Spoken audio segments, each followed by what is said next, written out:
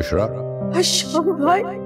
काश मैं आशी से शादी करने का फैसला करता ही ना तो आज दुनिया की कोई ताकत मुझे मेरी मोहब्बत पाने से नहीं रोक सकती थी। मैं आज शाम का पहला मेहमान तो ले आया। अपने मेहमान को लाने से पहले कम से कम मुझे बता देते आप। मैं जहनी तौर पर तैयार तो हो जाते। मैंने तुम्हें अपने माइयों पर इनवाइट करने के लिए कॉल की थी। क्योंकि फिर वलीमे के बाद मैं और अहमर यूरोप के टूर के लिए निकल जाएँगे ना? हनीमून पे? भूल जा ए दिल पीर से जुमा शब सात बजे।